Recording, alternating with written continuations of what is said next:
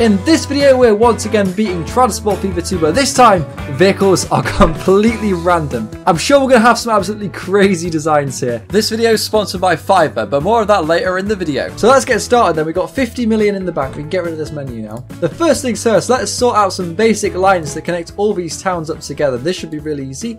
So now all the towns are connected, we're going to need some vehicles of course. Let's set up our hub in Nantwich and we can get a nice little depot going. And here's the fun bit. Well I've got every single type of vehicle on this website under different categories and let's spin this wheel and find out which one we're going to get. Okay, the first vehicle of the day is going to be the Chevy C60. Okay. Oh yeah, we got the prison bus. Okay, I've got a basic connection with a bus route going through all of these towns here. And that gets us going a little bit. So usually our main hub will be in the centre of the map. And Nantwich is a really good spot for this because it's pretty much central and it's got a lot of stuff around it. So Nantwich is wanting bricks and food. Okay, so I can see a little route forming here. This could work with a train. Let's get one in. And of course, now we need a train. Let's grab one. Here we go. It is the GG1 pretty decent train, but it's going to need some electrification on these tracks because it is electric. It's not the greatest train for this route, definitely not, but uh, it'll work. Next up, Let's just grab some road vehicles and bring the cooked bread over to this town, Nantwich, because the town's getting pretty big. It's not really an opportunistic spot for a train station. Lovely, now that's in, let's grab some vehicles. Please don't be a horse and cart. Please don't be a horse and cart. What we're going to get, it's going to be the Studebaker tank. Ah, that's an issue. We'll get 10 of these and we're going to have to just put them on the line because you get what you're given, I'm afraid, even though it doesn't carry the resource that we want. So 10 we're going to have to just pay for the maintenance for, but they're never actually going to do anything for us. Sad times. Let's re-roll. And it's going to be the Gaz 3307 dump truck. Oh my god, once again, we're getting so unlucky here. This truck also does not carry the resource we need. Let's buy 10, chuck it on the line, and re-roll. Alright, once again, come on. Give us something that can carry bread, please. Not a fuel truck. Not a fuel truck. It is a horse and cart. the irony saying I didn't want that before, and now we actually need this one because it actually carries what we want to carry. All right, ten of those. Stick them on there. We can finally make some money. Although the traffic's going to be a nightmare. Let's just zoom in on a, a slower speed here. Oh no. They're so old. There's going to be, I'm telling you, there's going to be so long tailbacks. They're going to go on forever. Alright, so we spotted a problem. If we get a vehicle like this, it's going to cause huge traffic. So I think we're going to have to prioritize trains from this point. Oh no. Anyway, regardless, we've got a drop off for the bread now. That's good. It looks like Aspartia needs bread, but it's a quite a distance away. So let's use a train. Bit of an awkward spot that, isn't it? But we will work with it. We'll have to do a little loop around, I think. Definitely do not copy what I'm doing. This is not advice of how to play the game at all. It's just a fun thing. If I was doing this properly, I would make a really good station instead of placing two. Bad idea doing two, by the way, guys. Bad idea. And let's grab a random train. Here we go. Okay, please do not give me a D13. I hate that train. And do not give me a Shinkansen or a multiple unit either while you're at it. We've got the Mogul, is that? Or is it going to be the PLM? PLM! Right, the PLM. Decent train. Right, that's done. Boom. Chuck it on. And don't you guys go anywhere because this is going to get absolutely insane by the end of this episode. There's going to be trains flying everywhere from all over the ages. It looks like we can get a cool line through here. We've got a forest, we've got a sawmill, and we've got a machines factory. However, the traffic's terrible on this road, so we might have to upgrade this to a bit of a highway. I'm going to do a terrible job of plugging this into the city. Never do this, by the way. Never ever bring a highway straight into a city road like that. Terrible, but I'm not here for the looks. I'm not here for how it works. I'm just here to get a bit of uh, relief on this tiny little country road. Right, that's looking a bit better now. We've got a little highway going. Fantastic. And you know what we'll do as well? We'll give them bus lanes, and that means that the cars aren't going to get stuck behind these horses because the horses could use the bus lanes. It's okay, guys. Feel free to overtake. All right, let's get back to it. I'll finish this route off. Here we go. Here we go. Here we go. Please, please, please give me something that can carry logs. Please. Come on. Dump. I don't think it can carry logs. Tank car, no! The tank car definitely can't carry logs. These things are expensive as well. Oh no. Okay, chuck that onto that. Come on. Come on. Oh, it is the... Are you kidding me? You're actually taking a piss. okay. Let's do it again. Europe flatbed. European flatbed horse and cart. Can that carry logs? I might actually be able to. Let's find out. European flatbed. Can carry logs. Yes. Okay, brilliant. Right, we'll get 10 of them. Boom. I actually cannot believe that I am cheering on a horse and cart. Alright, now these refined wood have got to go over to this machines factory.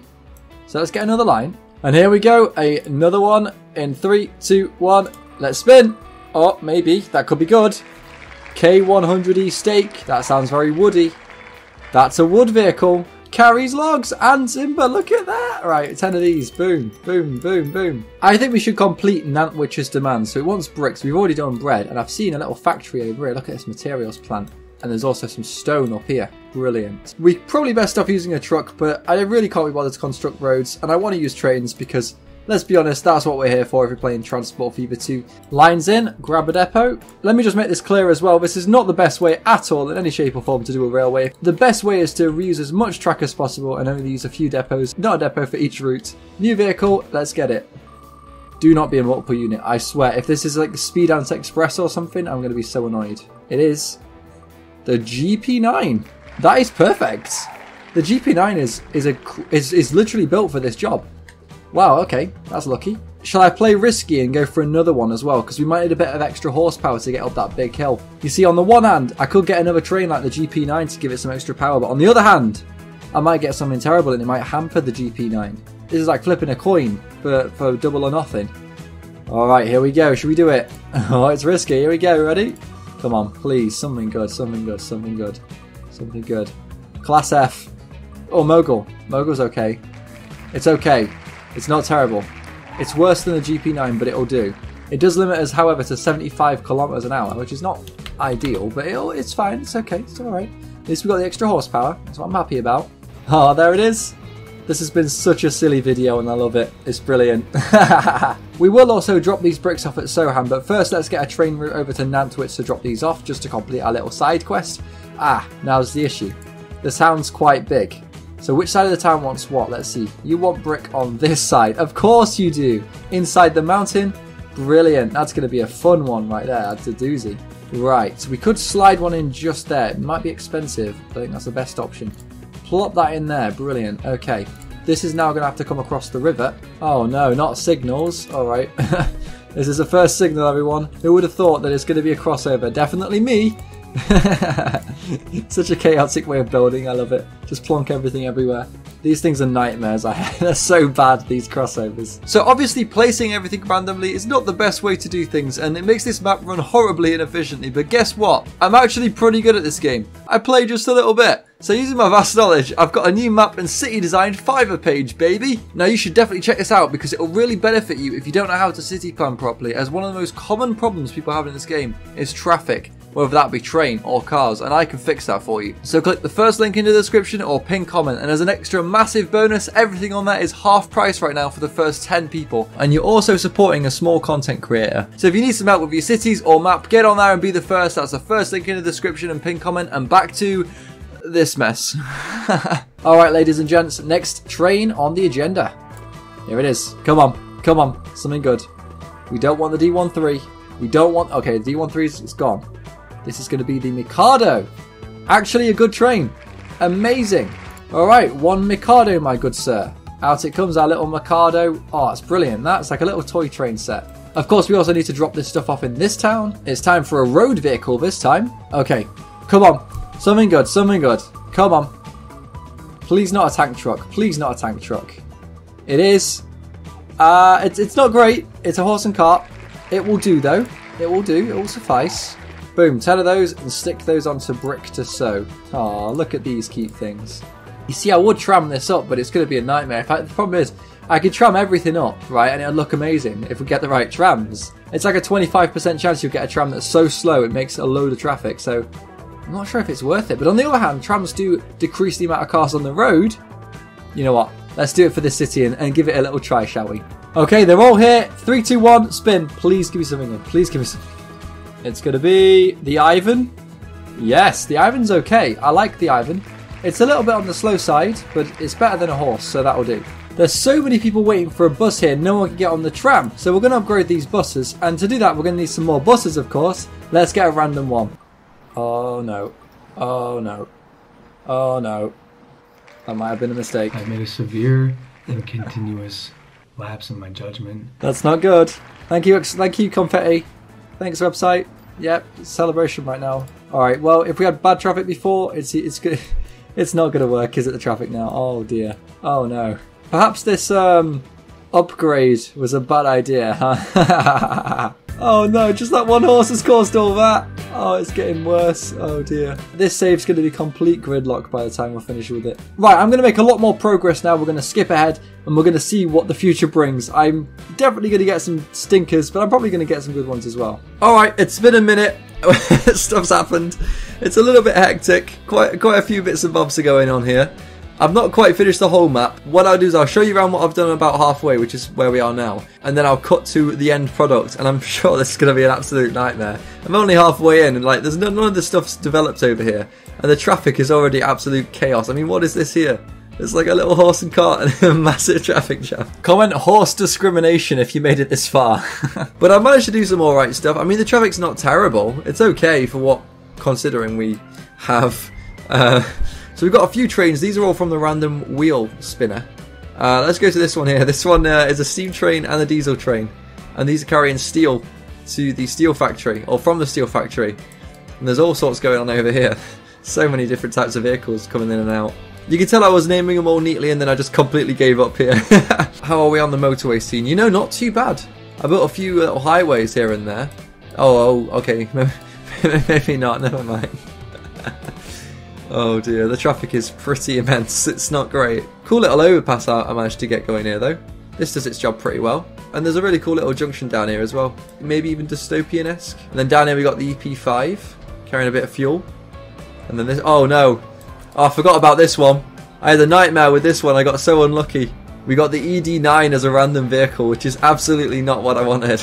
So we have a passenger train that's carrying fuel. Oh no. Okay, let's finish this absolute mess. And here's the final train, which is a good train to end on actually. This is probably the best train in the game. But um, that's it. Let's have a look around this crazy map. So let's start off by opening the line manager. What is going on here?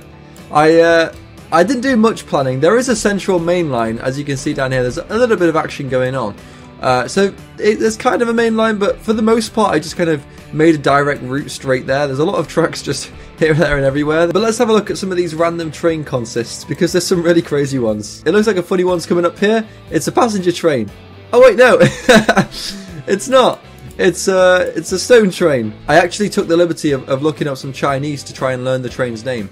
I, I it's people call it the Fuxim Hao.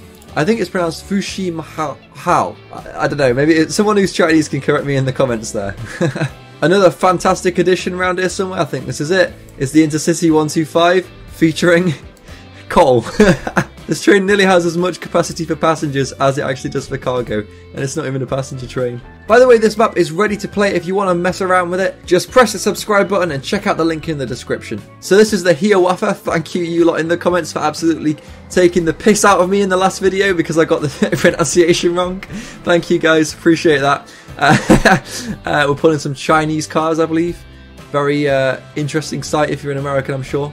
And of course, everyone's favourite train, the six wheeler, is included. Awful train. It's so bad. Look at this 18, 17, 16 on the slightest incline. I got so unlucky with this one. I did do some lane mathematics over here. You can probably tell this is not the best setup ever. Oh dear, what is this junction? Um, but uh, most of this is just AI builds, to be honest. You can see I've added some bus lanes and stuff just to try and uh, get my vehicles through my horse and carts, or even better, stop the horse and carts slowing the traffic down. Um, but yeah, most of this is just AI build, so there's a lot of crazy shenanigans going on here, which is uh, not the best design in the world. But I tried to fix it where I could because this is sort of a main pathway for a lot of traffic. And I think that some of these junctions solve a lot of traffic issues. This used to be really bad. Like, this was all backed up, this was all backed up. Every road facing this junction was completely backed up right over here, for example. Um, and it still is to a degree. it still is a little bit. Um, but it's not so bad. It was much, much worse. I mean, compare that to what the AI did at the end of this road. It's an actual nightmare. And actually, it's a really common mistake to just build highways between cities but not properly manage them. And it leads to a lot of traffic problems. And if you have this problem, or if you're just starting out in Transport Fever 2 and you aren't in the late game yet, you definitely want to check out this video which shows you how to get the best lane management for the best traffic flow.